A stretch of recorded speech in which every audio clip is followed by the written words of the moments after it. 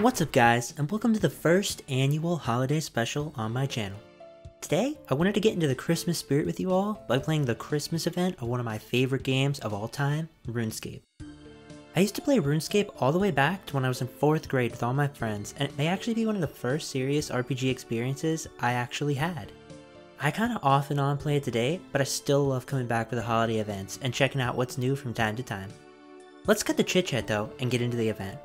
As you're exploring the world, you stumble upon Santa, who set up a huge portal and has set up a lion in front for some reason. You ask a festively dressed dwarf man what's going on, and he tells you that the line is to get into the Nutcracker Pub, one of the most exclusive drinking establishments in all of the lands. This dwarf's name is Gus Mistletoad, and he ends up telling you that he has a problem that you may be able to help him with. He says he desperately wants to get into the Nutcracker, but has failed for the last 21 years straight, Apparently, his dwarf like stature has always hindered his chances, but thinks that with your help, he can finally manage. You agree, but before you know it, he sends you up to Santa himself to ask for not just one ticket, but two.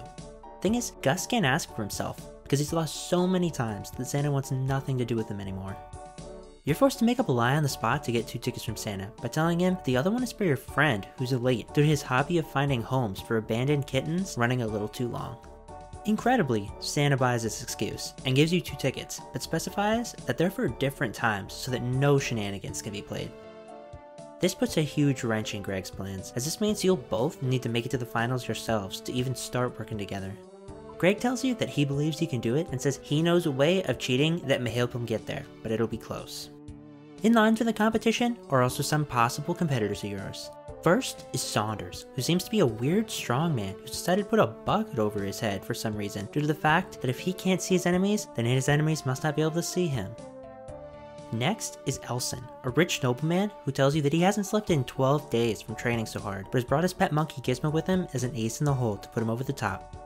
Third will be Bobby, who appears to be a full grown man who believes he's the son of a gnome. He's even dressed in his own gnome costume to boot.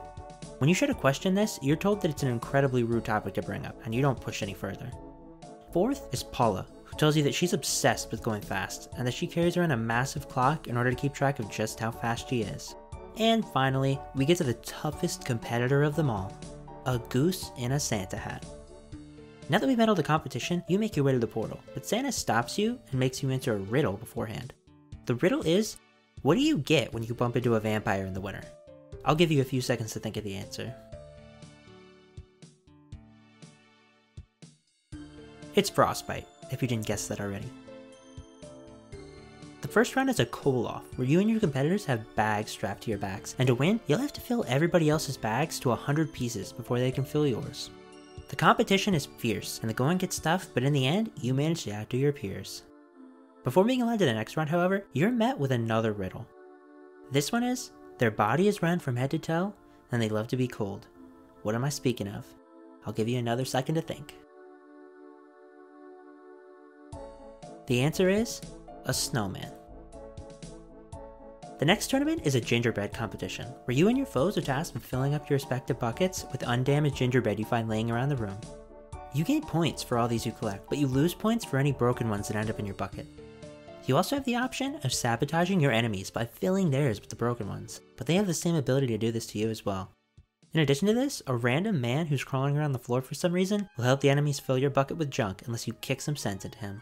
Again, the competition is grueling, and any mistake will cause you to crumble, but you don't bake under the pressure and end up cooking your competition.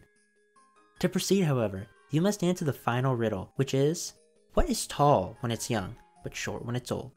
I'll give you one more second. The answer is a candle. Now on to the final round, where beforehand, you meet up with Gus and congratulate each other on your success.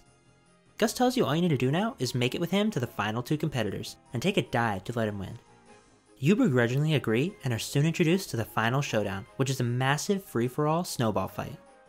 To win this, you need to take down your competitors by scoring as many hits on them as you can with regular snowballs, or, if you see one, a yellow snowball, which hits for way more points than normal.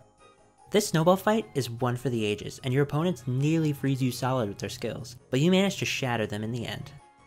It's all down to you and Gus now, and the ref stops the action to set up a 1v1 showdown. Greg is putting on a front and acting extremely cocky so as not to arouse any suspicions at your plan, but he almost slips up when he mistakes a noise for the ref starting the fight. Instead of hitting you, he throws a snowball right at the ref's face and nearly gets himself knocked out of the competition, but in the end, the ref allows the contest to continue. It's here that you're given the choice of going on with the plan or backstabbing Greg and taking the win for yourself. Since it's Christmas, I decided to let Greg win. But to my surprise, he pulled out a yellow snowball that must have been filled with lead or something as it knocked me out cold. Luckily, the ref congratulates Greg and tells him that in addition to his ticket for the Nutcracker Pub, he also gets a plus one ticket too, and Greg being a good sport, chooses you in that place. You end up getting dragged into the pub as you're still asleep, but when you awake, the bartender tells you to go and check on Greg, as he looks like he's acting a bit odd. When you approach Greg, he seems absolutely wasted on the mulled wine and spiked eggnog they have there, and after only a few seconds of talking, he nearly passes out. You step away a bit concerned, but the bartender laughs and says there wasn't even any alcohol in Greg's drinks, and he may have just gotten too excited to realize. For all your efforts, you're rewarded a huge collection of everything from Christmas poppers to a bunch of other outfits. You even get a full bag of coal and a copy of Santa's own list. That, my friends, is the conclusion of our little Christmas tale. It's been a pleasure hanging with you all today, and I look forward to our next holiday special. I really appreciate all the support you guys get in the channel. Every nice comment and subscriber means a lot, and I love showing you guys all these cool games. All that's left to do now is to drink some eggnog and wish you all a Merry Christmas and Happy Holidays.